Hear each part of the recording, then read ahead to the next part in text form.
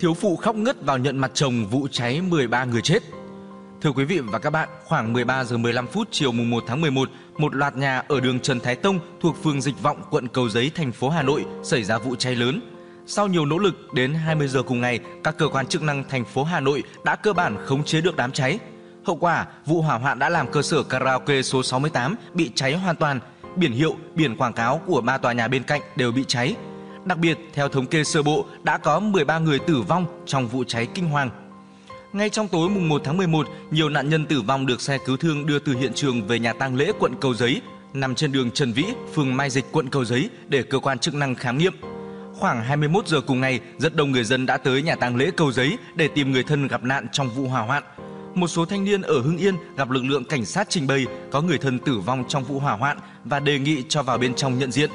Tuy nhiên, lực lượng cảnh sát đã từ chối và động viên người thân các nạn nhân kiên nhẫn chờ cơ quan pháp y khám nghiệm xong sẽ mời vào nhận diện.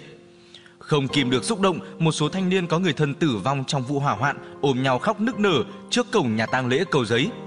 Đến 0 giờ 30 phút ngày mùng 2 tháng 11, nhiều xe ô tô mang biển số Hải Phòng, Nam Định, Hưng Yên, Hòa Bình chở theo hàng chục người thân các nạn nhân thiệt mạng đã về nhà tang lễ Cầu Giấy. Sau nhiều giờ chờ đợi bên ngoài nhà tang lễ, người phụ nữ khoảng 30 tuổi gục trên vai người thân khóc nghẹn khi hay tin chồng tử vong trong vụ cháy quán karaoke kinh hoàng. Nhiều người cố động viên nhưng nước mắt người phụ nữ bất hạnh vẫn cứ trực trào. Những tiếng khóc nấc của chị khiến chúng tôi và những người xung quanh cảm thấy xót xa. Nỗi đau quá lớn khi mất đi điểm tựa trong cuộc sống khiến người phụ nữ ngoài 30 tuổi suy sụp hoàn toàn. Chị suýt ngã khụy trên đường vào nhà tang lễ cầu giấy nhận diện chồng. Khoảng 1 giờ ngày mùng 2 tháng 11, thân nhân của một số người thiệt mạng trong vụ hỏa hoạn tiếp tục được cảnh sát gọi vào bên trong nhận diện. Chia sẻ với phóng viên, anh ca, người thân của nạn nhân Hát quê ở Nghệ An cho biết, khi vào nhận dạng anh Hát, anh rất đau lòng vì những người thiệt mạng còn khá trẻ, có cả phụ nữ. Riêng anh Hát do gương mặt và thi thể nguyên vẹn, quần áo không bị cháy nên vẫn nhận dạng được.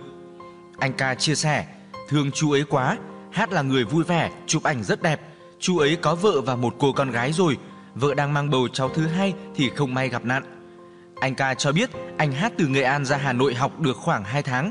Chiều mùng 1 tháng 11, sau khi nghe thông tin về vụ hỏa hoạn ở đường Trần Thái Tông, gia đình gọi điện cho anh Hát nhưng không liên lạc được. Sợ có chuyện chẳng lành, gia đình đi tìm hiểu thì được biết, chiều cùng ngày anh Hát cùng bạn đi hát ở quán karaoke số 68 đường Trần Thái Tông. Đến khoảng 20 giờ cùng ngày, do vẫn không liên lạc được với anh Hát nên gia đình đến nhà tang lễ cầu giấy tìm thì nhận được tin anh Hát đã tử nạn. Theo anh ca, nhận được tin xấu, gia đình anh Hát ở Nghệ An đã lên xe ra Hà Nội ngay trong đêm để đưa anh về quê mai táng. Theo ghi nhận của phóng viên, khoảng 2 giờ dạng sáng ngày mùng 2 tháng 11, thi thể nhiều nạn nhân tử vong trong vụ cháy kinh hoàng ở Trần Thái Tông đã được người thân đón về quê lo hậu sự. Yeah.